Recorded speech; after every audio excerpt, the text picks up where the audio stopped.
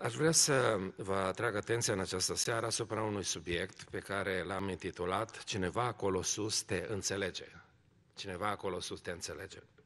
Este groaznic să fii neînțeles, așa Se spune că o femeie, cred că era româncă, s-a dus la Kentucky Fried Chicken și a făcut o comandă. Și cel care era vânzătorul de acolo și-a pus mâinile în cap și a spus, de unde să pot eu să știu cât uh, pui să fie pentru 300 de oameni? La care femeia a zis, no 300 people, three hungry people. you know. uh, uneori, un mic sunet, nu? Schimbă uh, complet ecuația. Nouă ni s-a întâmplat de foarte multe ori, așa când oamenii ne-au înțeles greșit pentru că am pronunțat greșit anumite cuvinte. Este îngrozitor să, să fii neînțeles, să nu te înțeleagă cineva. A fost o perioadă în viața mea când uh, eram foarte supărat pe părinți că nu mă înțeleg. Nu mă înțelegeau deloc. Aveam nevoie de costum nou, de pantofi noi, făceam, începeam să fac curte la fete și ăștia domnule, mi le cumpărat tot pe rând. Când aveam pantaloni noi, aveam tot pantofii vechi în care ieșea degetele prin... Când îmi cumpărau pantofi, nu aveam pantaloni, așa că tot timpul eram în, în, în probleme. Nu? Și nu mă înțelegeau, domnule, m-am supărat pe ei și am hotărât să plec să-mi fac eu rost de bani. Prima mea revoltă s-a soldat cu angajarea mea la un uscător de ceapă. Eram singurul băiat în vreo, între vreo 50 de femei care curățam ceapă 8 ore pe zi. M-am luat la concurs cu ele, în final. Ce să vă spun, am curățat ceapă pentru restul vieții mele, că nevastă mea nu mai are curaj să ceară să mai curăț o ceapă vreodată. That's sad. Așa de urât miroseam ceapă, mai ales mâinile, nu știam unde să le ascund noaptea. că ziua mai era cum era, dar noaptea miroseau teribil. Da. A fost prima mea revoltă împotriva unor părinți care nu mă înțelegeau. În vacanța anului viitor, anul următor, iar m-am revoltat pe ei, uh, m-am dus la un gostat. Să muncesc pe câmp, țăran, mă fac, muncesc pe câmp și fac bani. Într-o comună foarte departe de casă. Ne-au cazat într-un graj de vreo 100 și ceva de persoane, Acolo am făcut cunoștințe cu toate alte animale decât alea de domestice care le cunoșteam, ploșnițe, păduchi, pureci, mă rog. A fost teribil, o lună de zile am rezistat. Am făcut bani și mi-am cumpărat pantofi. Revolta aceasta că nu te înțelege cineva, mai ales la o anumită vârstă, este groaznică. Pe urmă, noi, părinții, ne plângem că tinerii noștri nu ne mai înțeleg. Suntem neînțeleși. E bine, în seara aceasta, subiectul meu este cineva acolo sus te înțelege. Vreau să încep cu două pasaje pe care să le citim din Cartea Evreilor, capitolul 4, versetele 15 și 16, care spun așa căci nu avem un mare preot care să n-aibă milă de slăbiciunile noastre, ci unul care în toate lucrurile a fost ispitit ca și noi, dar fără păcat. Să ne apropiem, dar, cu deplină încredere de scaunul Harului, ca să căpătăm îndurare și să găsim har, pentru ca să fim ajutați la vreme de nevoie. Subliniați, vă rog, a fost ispitit ca și noi, ca și mine, ca și tine.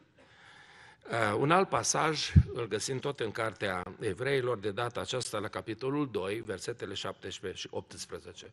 Prin urmare, a trebuit să se asemenea fraților săi, să se asemene fraților săi în toate lucrurile, ca să poată fi, în ce privește legăturile cu Dumnezeu, un mare preot milos și vrednic de încredere, ca să facă ispășire pentru păcatele norodului. Și prin faptul că el însuși a fost ispitit în ceea ce a suferit, poate să vină în ajutorul celor ce sunt ispitiți. Ce vreau să spun versetele acestea? că Domnul Isus Hristos a venit în lumea noastră să fie asemenea noastră, asemenea nouă, carne din carnea noastră, os din oasele noastre, să trăiască experiența umană de prima mână, nemijlocit, așa, ca să poată fi apoi un mare preot mijlocitor între noi și Dumnezeu. Poate să spună tatălui, tată, eu știu de ce Petrica a reacționat așa. Eu știu de ce s-a întâmplat asta. Eu am trăit acolo, eu cunosc, eu știu ce înseamnă să fii om. Cunosc ispitele la care oamenii aceștia sunt supuși. Cunosc necazurile, cunosc greutățile, dificultățile de a trăi în, în această lume. Am fost acolo. Și el poate de aceea, spune Sfânta Scriptură, în legăturile cu Dumnezeu, să fie un mare preot vrednic de încredere. Putem avea încredere în el, pentru că ne cunoaște. Nu, e, nu poate fi dezinformat. N-ați întâlnit oameni cărora le-a spus, o, tu nu mă poți înțelege, tu trăiești în lumea ta. Nu? Ați avut vreodată prieteni bogați care trăiesc numai între milioane, nu? Și aproape că nu cunosc ce înseamnă hârtia de un dolar. Nu cunosc necazurile tale și problemele tale. Și îți vine foarte ușor să spui, ei, normal, tu ușor vorbești pentru că trăiești acolo. Dacă ai trăi în lumea mea, ă, altfel ai vorbi. Tu nu mă poți înțelege pe mine. Apoi ne uităm la oamenii ăștia mari din politică, nu? Sus puși în vârful piramidei. Și le spunem, a, pentru voi e ușor, sigur că da. Toate ușile vi se deschid, toată lumea vă salută. Tu nu știi ce necazuri am eu, ce probleme am eu. Faptul acesta este atât de cunoscut și atât de familiar, în care fiecare dintre noi, într-un fel sau altul, ne plângem că nu suntem înțeleși de ceilalți din jurul nostru. Vreau să vă spun că atunci când e vorba de Domnul Iisus Hristos, El este Cel care ne înțelege. Nu întâmplător a venit în lumea noastră, s-a născut pe paiele unui grajd. A trăit într-o familie de oameni foarte săraci. A fost uh, tâmplar, okay? dulgher.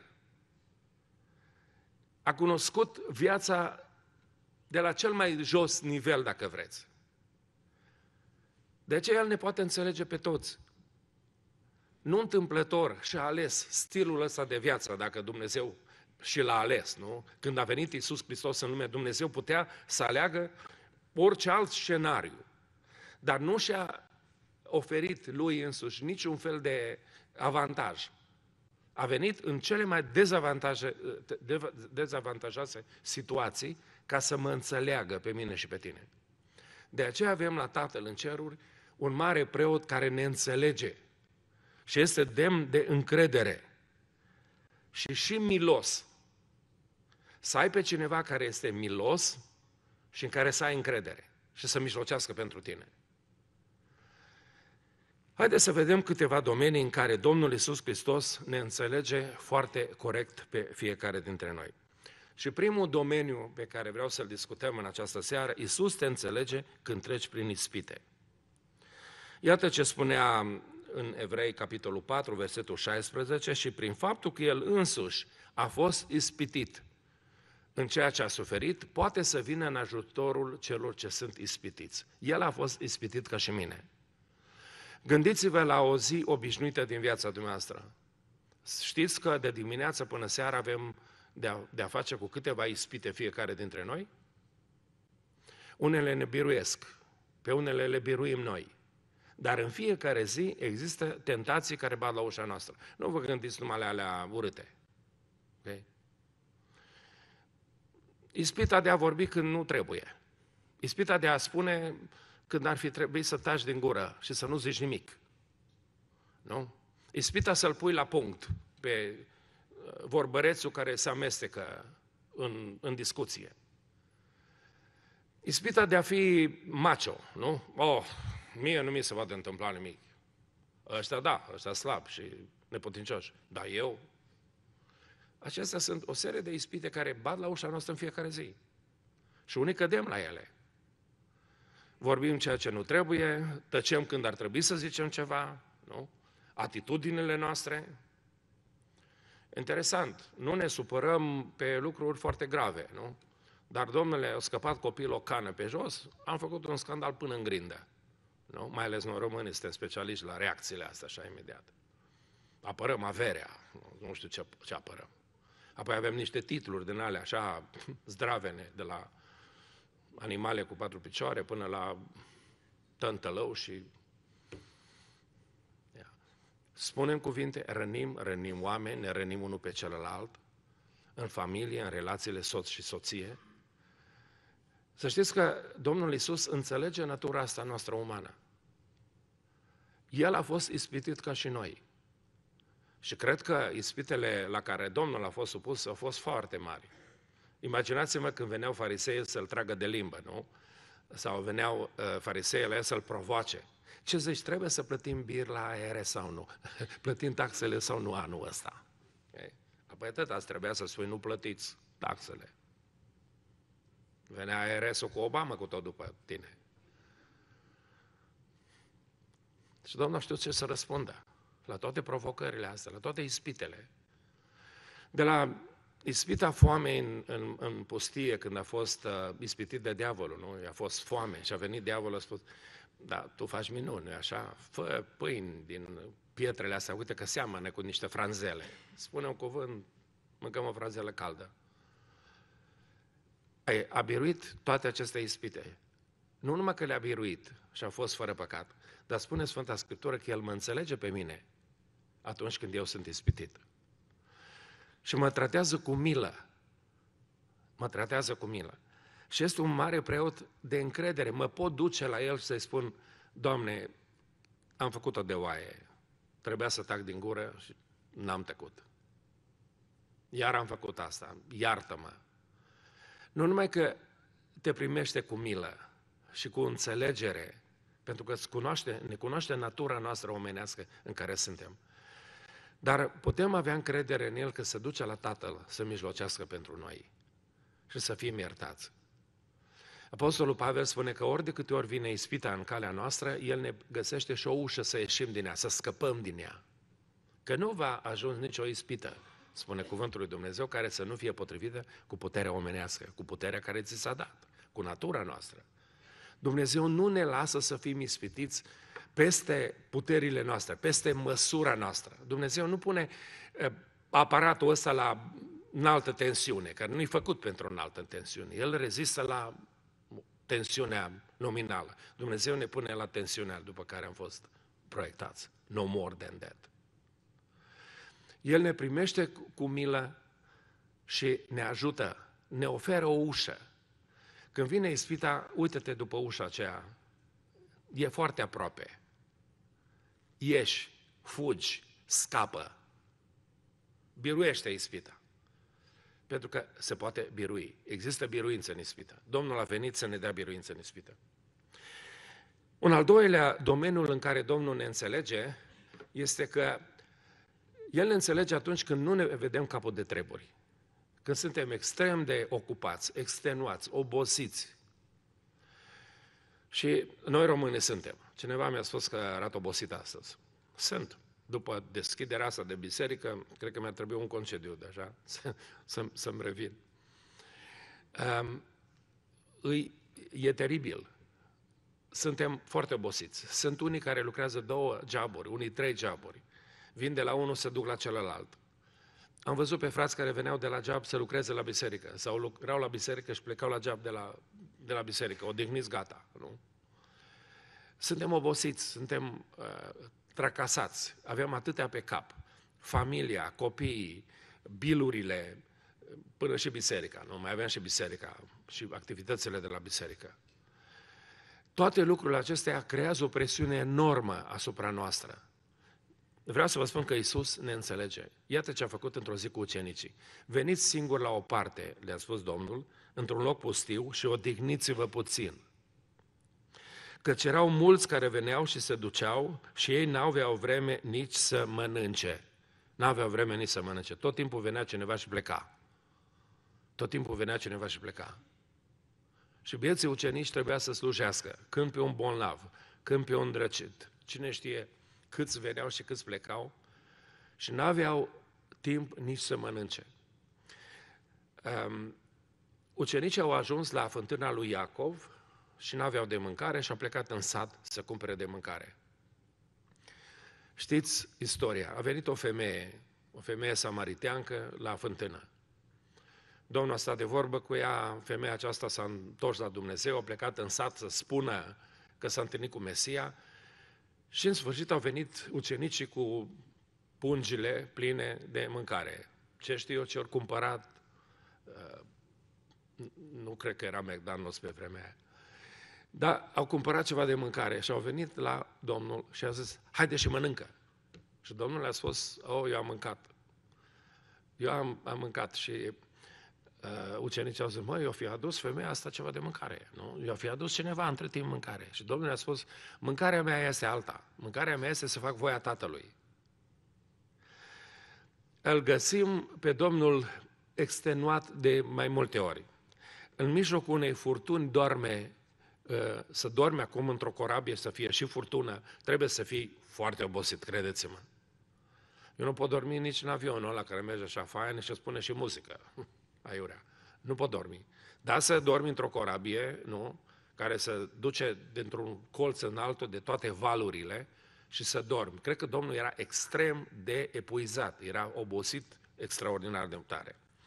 Am găsit un pasaj în Evanghelia după Marcu, capitolul 7, versetul 24, într-o zi a fugit, a plecat să nu-l găsească nimeni. Iisus a plecat de acolo și s-a dus în ținutul Tirului și al Sidonului, în Siria de astăzi. S-a plecat în Siria. A intrat într-o casă dorind să nu știe nimeni că este acolo. Dar n-a putut să rămână ascuns. Dorea să nu știe nimeni că este acolo. De ce o fi plecat să se ascundă acolo, să nu știe nimeni că este acolo? Cred că era extrem de obosit. Era extrem de obosit. În uh, ultima călătorie care am făcut în Australia împreună cu Rodica, Uh, știți cum sunt frații când te duci, mai ales într-o lume din asta nouă, ei spun la capătul pământului, așa spun ei, ei să cred sărace la capătul pământului, când dau de tine, atunci uh, dacă nu te invită la breakfast, atunci la lunch, pe urmă la cină, vină la biserica noastră, ba la biserica aia altă. Eram epuizați. După două săptămâni am zis, trebuie să facem ceva, să dispărem.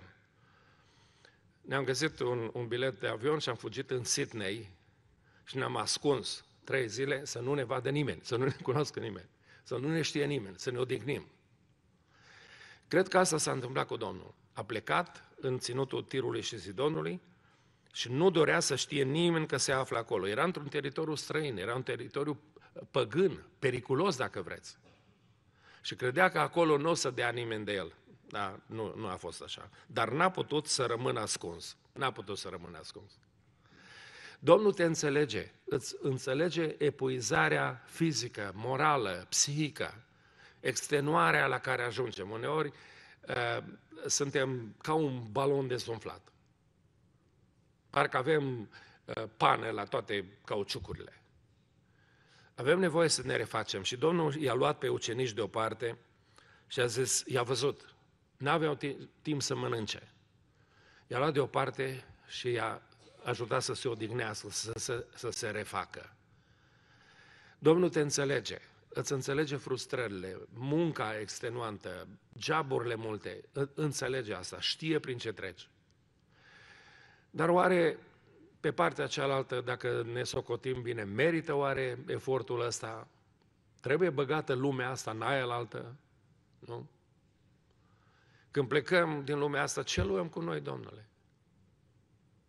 Sau vrem să lăsăm să se bucure cineva de rodul muncii noastre, nu? Știți cine o să se bucure? Cine nu trebuie să se bucure, cine ar trebui să muncească. Știți că americanii bogați nu, nu le lasă copiilor lor averea, știți asta? Lasă averea la biserici, la organizații de binefacere și lasă pe copiii lor să lupte pentru viață. Altfel, zic, o să ajungă niște oameni de nimic, de bani gata. Îi lasă să lupte, să trăiască, să se poate bucura de viață cu adevărat. Gândiți-vă bine ce facem. Viața este scurtă. Mai găsiți timp și pentru un concediu, pentru o mică vacanță. Ehm, nu știu și noi ca biserică trebuie să facem ceva. Mi se pare că ar trebui să ieșim într-un retreat undeva, să ne mai retragem undeva în pustie, nu? Așa la o parte, să ne odihnim un pic. Am auzit că frații de la Happy Valley au un, un, un loc de odihnă, undeva în munte. Nu? Să mai pleacă din când în când, să retrag din luptele vieții. Poate n-ar strica să-l închiriem pentru vreo două, trei zile, nu-i așa? Avem nevoie să ne refacem. Poate că n-ar strica să facem vreo excursie sau două, să vedem natura asta frumoasă, unde ne-a pus Dumnezeu. Nu? Vin oameni din alte, din alte părți de lume să vadă Arizona. Nu? Și sunt oameni din Arizona, deci care nu știu unde e Grand Canyon, n-au fost la Grand Canyon niciodată. Poate că trebuie să închiriem un bas și să ieșim undeva în natură, să vedem ce a mai făcut Dumnezeu în jurul nostru undeva la o parte, așa cum spunea Domnul, într-un loc pustiu și odihniți-vă. Căci oamenii vin și se duc. Vin și se duc prin viața noastră și ne consumă și nu avem uneori vreme nici să mâncăm, nu avem vreme să ne ocupăm de noi înșine. Tot timpul ne ocupăm de alții, tot timpul de alții. Și nu avem, nu avem timp să ne ocupăm de noi. Îmi spunea un prieten odată, mă, Petrică, n-am fost în concediu de 10 ani. Bravo, am zis, nu știu cum ai reușit treaba asta. Dar mă tem că o să le faci concediile astea toate într-un singur an. Și am profețit. S-a îmbolnăvit grav de tot și a zăcut prin spitale un an de zile, a recuperat toate concediile care nu le-a făcut, dar le-a făcut în spital concediile alea. Acum, eu nu zic să plecați toți în uh, excursie duminica viitoare și eu nu mai cine mai, la cine mai predic aici, așa, nu? nu. Încerc să mă uit pe Facebook și să mă rog pentru dumneavoastră. Cum am rugat pentru familie zilele astea. Dar Domnul ne înțelege atunci când nu ne vedem capul de treburi. Ne înțelege foarte bine. Știe natura noastră umană. În al treilea rând, Iisus ne înțelege când alții ne resping. Cel mai dureros verset din Biblie a venit la Isai și Isai nu l-au primit. A venit la Isai și Isai nu l-au primit. O, îi primeau pe alții. nu? Dar asta e de nostru, domn. Pentru alții făceau colecte, pentru alții făceau paris. Asta e nostru, fiul templarului. Știm noi cine măsa, cine taică so. Exact asta au spus. Și când le-a ținut o predică ce nu le-a plăcut, au vrut să-l arunce în prăpastie, să scape de el. Domnul înțelege când alții te resping, când alții îți închid ușa în nas. El înțelege foarte bine asta, pentru că a trecut pe acolo. A venit la ei lui și ai lui i-au întors spatele. Respingerea este unul dintre cele mai dureroase lucruri pe care noi le uh, experimentăm. Și când te resping oamenii care nu te cunosc, e o, chestie, e o, e o durere dar când te resping cei care te cunosc, cei care te iubesc, este îngrozitor de greu. Îngrozitor de greu.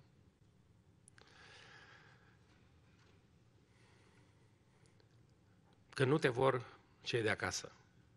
Sau te vor altfel decât ești. Când ți se întrântește ușa nas, a fost, în, în via, am din, în viața mea două, două respingeri din astea foarte dureroase. Nu le-am uitat nici acum. Domnul se ierte pe băia care au făcut ce au făcut, dar nu, nu i-am uitat. Nu i-am uitat. În primul rând, prima dintre ele uh, s-a întâmplat în timpul facultății. Am vrut să mergem într-o tabără. Noi, cei trei sfinți de la construcție, ca așa ne numeau, trei prieteni, trei colegi, toți pocăiți, pentecostal, mergeam la aceeași biserică. Și ne-am dus să ne dea bilet de tabără. Eram printre cei mai buni studenți din, din an. Ne-am dus la UTC-ul, că ăștia, UTC, UTC-ul, nu? Și de ce mi-au spus? Dumnezeul vostru să vă dea bilete de tabără. Așa ne-a zis, Dumnezeul vostru să vă dea. Ne-a scos afară. Și tot m-am gândit de-a lungul anilor, vorbele acelea nu le-am uitat. Știți că Dumnezeu ne-a trimis în tabără? Ne-a trimis în America pe toți trei. Eh? o serie de colegi de-ai mei care erau uh, șef la utc erau oameni mari, politici de pe vremea aceea, am auzit că au murit. Au murit de bețivi pe șantierele patriei. Okay? E bine, Dumnezeu ne-a luat pe noi ăștia trei sfinți de la construcție și ne-a trimis în America pe toți. Am avut așa un timp bun împreună la Detroit, m-am întâlnit cu ceilalți doi sfinți, în care au rămas sfinții un pic cam mai... Dar ne-am simțit așa de bine împreună, ne-am adus aminte, am stat până noaptea târziu și am depănat amintiri. Este un lucru extraordinar. Dumnezeu te înțelege atunci când te resping alții. O altă respingere foarte dureroasă care nu s-a întâmplat aici în America. Trebuia să o aștept pe Rodica, nu știu unde, trebuia să vină de undeva și ploua cu găleata, domnule, ploua îngrozitor. Și undeva în Chicago, pe Milwaukee cu Lawrence, la intersec- intersecția aceea, cei din Chicago știu bine despre ce este vorba, am hotărât să mă adăpostez de ploaie la un magazin care vindea biciclete. Acum, ploua cu găleata, ce să-mi cumpere o bicicletă, ăla m-a prins de la bun început că eu mă adăpostez de ploaie, nu? Vânzătorul de acolo. Și a venit la mine și mi-a spus foarte obraznic, nu facem babysitting, get out of this store. We are not doing babysitting. Wow! Am ieșit și am stat în ploaie, așa ostentativ, în fața vitrinei lui.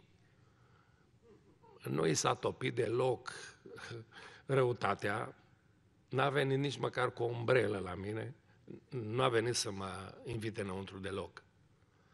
Este groaznic să ai o nevoie de un, de un mic lucru, nu? Să te lasă să nu te ploaie. Să te dea afară, să te dea afară.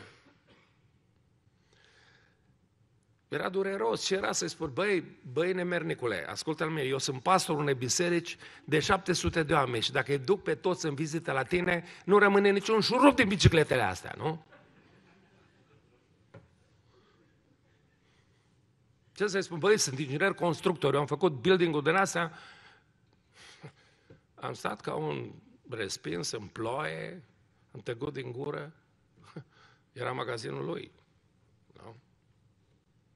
Domnul ne înțelege.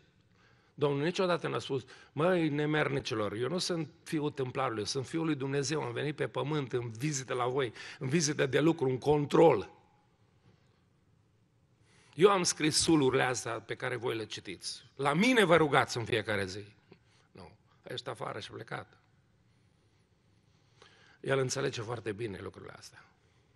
Înțelege foarte bine aceste lucruri.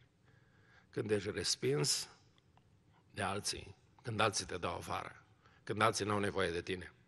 Unul dintre textele extraordinare din Biblie este pilda Mântuitorului cu angajații la vie, la lucru. A venit și i-au luat la lucru din prima oră. Și și la ora 11 a venit și a mai angajat pe unii care stăteau fără job în piață. I-a luat și la ora 11. Și le-a dat același salar la toți. Pentru că Domnul n-a vrut să fie nimeni respins. Domnul nu vrea să existe oameni respinși. Nu te vrea la ora 8, trimite unul la ora 9 după tine, mai târziu. Da, te vrea, te angajează. Când nu te vrea nimeni nicăieri, El te vrea. Okay? El nu-ți închide ușa în nas. Dacă corul nu te primește că când fals, el te primește în corul ceresc să cânți cungerii. Okay? El te primește. El are nevoie de tine. Este un lucru extraordinar pentru că El înțelege ce înseamnă să fie respins de alții. Apoi, în al patrulea rând, Iisus te înțelege când ești dezamăgit de prieteni. Iisus i-a zis, Iudo, cu o sărătare vinzi tu pe Fiul omului,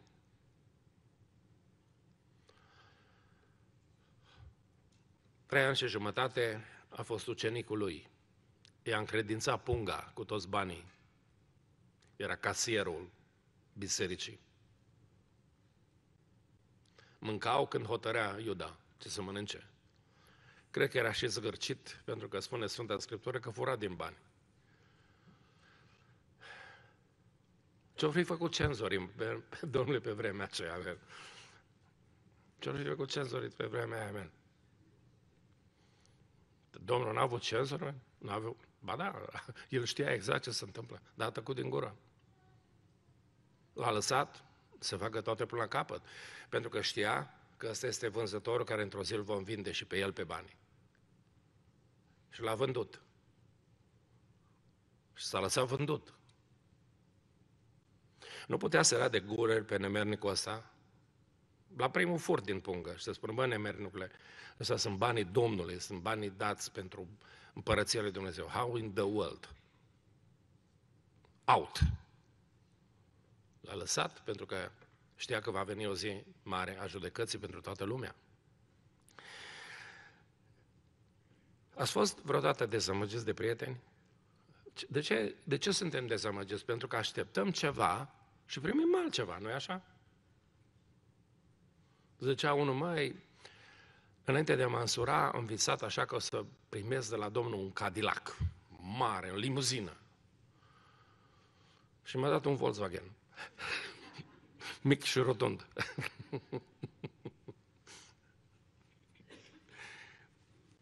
Oamenii sunt dezamăgiți, ne dezamăgesc oamenii, ne dezamăgesc prietenii. Uneori suntem dezamăgiți de Dumnezeu. O carte care a avut un impact deosebit asupra vieții mele a fost cartea lui Philip eh, Yancey, Dezamăgit de Dumnezeu. Citiți-o. Dar când te dezamăgesc prietenii, aștept ceva de la ei și obții exact pe dos. Aștept să vină cu tine și nu vin. Aștept să te ajute și să-ți întorci spatele. Aștept să te încurajeze și te descurajează. Aștept să riște împreună cu tine și ei te vând. Te vând pe 30 de arginți. Wow! Iisus te înțelege, înțelege foarte bine lucrurile acestea. Și în final vreau să spun că Iisus te înțelege atunci când cei din familie nu te înțeleg. Acum este ok să nu te înțeleagă străinii, să nu te înțeleagă frații, prietenii și așa mai departe, este ok. Dar este îngrozitor de dureros să nu te înțeleagă familia.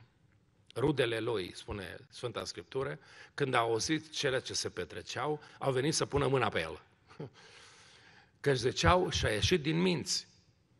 Deci credeau despre Mântuitorul că și-a pierdut controlul, că nu e normal, nu mai este în toate mințile. Trebuie să pună mâna pe el. Trebuie să-l ducă acasă. Trebuie să-l salveze. Nu? E îngrozitor când vor să te salveze oamenii care au ei nevoie de salvare. Nu? Cine avea nevoie de salvare? Ăștia. Și ăștia vor să salveze pe alții. Vor să salveze pe Salvatorul. Vor să-L salveze pe Salvatorul lumii. E îngrozitoare situația asta. Părinți care nu văd în tine nimic. Citesc toate cărțile altora, dar cărțile care le-ai scris tu nu le citesc părinții de niciodată. Dacă aveți timp, stați de vorbă cu mine, cam să vă spun.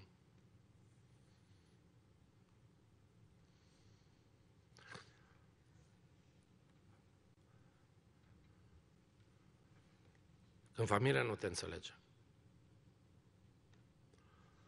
Când copiii nu mai vin la biserica la care mergi tu.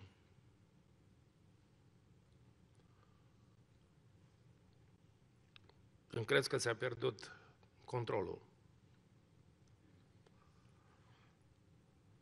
Și asta este mama și tata și frații. E groaznic. Am avut o colegă în timpul facultății, s-a întors la Domnul și părinții au dezmoștenit-o. N-am mai vrut să o cunoască deloc. N-am mai recunoscut-o ca și fica lor. Când părinții nu te mai înțeleg, Iisus te înțelege pentru că El a trăit experiența asta, El a trecut pe aici. Acum, e normal, într-un fel, e greu. Iisus, Iisus n-a fost un ficior rebel, ok, în casă. Se pare că fiind cel mai mare, după moartea foarte de curând a lui Iosif, el a rămas cel care a fost câștigătorul de pâine până la 30 de ani, a rămas în casă să susțină familia. practic este cel care a crescut pe frații lui. Și ăștia să spună despre tine că nu ești normal, să spună despre tine că ți-ai pierdut mințile, ți-ai ieșit din minți. Iisus înțelege foarte bine atunci când nu te înțelege nici măcar familia ta. În concluzie, vreau să spun uh, câteva lucruri. Avem acolo sus un mare preot milos și vrednic de încredere. Subliniați aceste două lucruri, milos și vrednic de încredere, care ne poate ajuta. Când suntem ispitiți, ne oferă întotdeauna o ușă de scăpare. Ne oferă o ușă de scăpare. Caută ușa aia. Este la îndemâna ta. Poți să biruiești ispita. El a fost ispitit exact ca și mine, dar a folosit ușa aceea. Folosește-o și tu. Haideți să o folosim. Când suntem extenuați, El ne oferă o dihnă Lui. El ne spune, haideți un pic la o parte. Găsiți o dihnă în mine. Eu sunt o dihnă voastră. Intrați în odihna mea. Când suntem respinși de oameni, El este gata să ne primească. Când alții nu ne vor, El ne vrea. Când suntem dezamăgiți de prieteni, El spune că nu o să ne părăsească niciodată. Nu o să ne părăsească niciodată. Cuvintele sunt așa de extraordinare în Sfânta Scriptură, spune, poți să se mute munții. Dragostea mea nu se va muta de la tine. Chiar dacă o mamă își va uita rodul pândecului ei, copiii, eu n-am să te uit, spune Dumnezeu. Nu este un lucru fantastic? Să avem această siguranță că El nu ne va abandona niciodată, nu ne va părăsi niciodată. Dacă vei ajunge să pleci de unul singur și cu mâinile goale, așa cum am pățit-o noi, El nu te părăsește niciodată. Și dacă astăzi avem o biserică, este că El nu ne-a părăsit niciodată. Nu ne-a părăsit niciodată. Mă duc aminte de ziua aceea când am început biserica, când am plecat singur și cu mâinile goale, culmea, și acuzați că am furat toți banii. Plecat singur cu mâinile goale și murdăriți de alții. Mi-ar fi fost foarte greu să, să, să cred dacă cineva mi-ar fi spus că peste doi ani și jumătate vom avea o biserică noastră frumoasă și cu tot ce ne trebuie. Mi-ar fi fost foarte greu. Dar Dumnezeu a fost mult mai bun decât imaginația noastră și decât tot ce a putut noi să visăm. Pentru că El nu ne-a părăsit niciodată. El a fost alături de noi. Și biserica aceasta există pentru că El nu ne-a părăsit niciodată. Când nu te înțeleg cei din familie, El este singurul care te înțelege. So don't complain anymore mama nu te înțelege, tata nu te înțelege, eu știu. Este cineva acolo sus care te înțelege foarte bine. He understands you. Du-te la el. Lasă-te ajutat, ajutată de el. Pentru că el este singurul care ne înțelege, pentru că a trecut exact prin ce am trecut noi. A fost adolescent exact ca și tine. A fost copil exact ca și tine.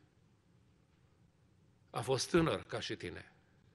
A fost un adult ca și tine. A fost confruntat cu opoziție, cu dușmani, cu suferință, cu moartea. Și a biruit, pentru că alături de el era Tatăl, a avut încredere în Tatăl întotdeauna. Așa cum te rog eu să ai încredere în El, că El este singurul care te înțelege și te poate ajuta. Haideți să ne ridicăm în picioare pentru rugăciune. Și dacă este cineva care în această seară are nevoie să ne rugăm în mod special pentru el, ridicați o mână, vrem să ne rugăm Domnului. Domnul să binecuvânteze mâinile acestea. Domnul, Domnul vă înțelege lucrurile prin care treceți mai bine ca oricine.